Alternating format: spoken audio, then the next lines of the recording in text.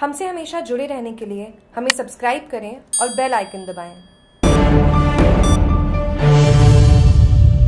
सोलह साल में तीन बार स्वीकृत सड़क, फिर भी मंजिल तक नहीं पहुँची सड़क। बाड़मेर, एक नहीं, दो नहीं, तीन नहीं, सोलह वर्ष का लंबा इंतज़ार। एक बार नहीं, दो बार नहीं, पूरे तीन बार सड़क निर्माण की स्वीकृति। सड़क राजस्व रिकॉर्ड में कटान मार्ग भी दर्ज। इतना कुछ होने के बावजूद भी ग्राम पंचायत झाग सड़क निर्माण नहीं करवा पाए तो फिर क्या कहा जाए? राज्य सरकार के रास्ता खोलो अभियान की पोल खोलने वाली यह सच्चाई बाड़मेर ज़िले की पंचायत समिति बाइतू की ग्राम पंचायत झाक की है। ग्राम पंचायत झाक की ढिलाई या फिर यूँ कहें की लापरवाही का खामियाजा, इसी ग्राम पंचायत के किरपाणियों मेघवालों की दाणी में रहने वाले दलित परिवार भुगत रहे हैं और जिम्मेदार तमाशबीन बने हुए हैं। 2006 में पहली बार हुई थी स्वीकृत। ग्राम पंचायत बाबा रामदेव मंदिर के किरपाणियों मेघवालों की दाणी तक ग्रेवल सड़क की प्रथम स्वीकृति वर्ष 2006 में जारी हुई। स्वीकृति के पश्चात बाबा रामदेव मंदिर के सिरे से सड़क निर्माण का कार्य शुरू हुआ, जो कुछ ही दूरी पर ले जाकर विवाद के नाम पर बंद कर दिया गया। वर्ष 2012 में जिला परिषद ने एक बार फिर झाक मोखाब रोड से बाटाड़ा झाक सरहद तक नाम से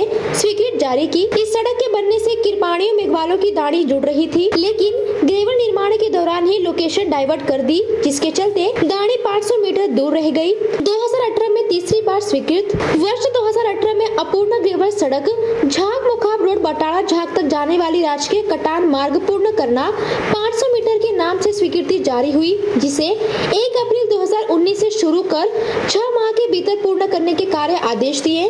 लेकिन यह कार्य अभी भी हुआ है, जिसके चलते किरपाणियों मेघवालों की दानी सड़क सुविधा से वंचित है। हमने सड़क निर्माण कार्य पूर्ण करने के लिए सैकड़ों बार परिवादी दिए राजस्थान संपर्क पोर्टल का उपयोग किया। विवाद होने पर कटान रास्ते की पैमाइश करवा कर सहमति ली। हाल ही में एक बार फिर सरपंच की मौजूदगी में पैमाइश हो गई। सहमति बन गई, फिर भी सड़क नहीं बन रही है। अशोक कुमार, परिवादी झाँक। की तैयारी में है। 500 मीटर तक सड़क निर्माण में अब कोई बाधा नहीं है। पहले कुछ असहमति थी, जिसके चलते काम नहीं हो सका। लेकिन अब दो चार दिन में मुर्डा डालकर ग्रेवल सड़क का निर्माण करने की तैयारी है।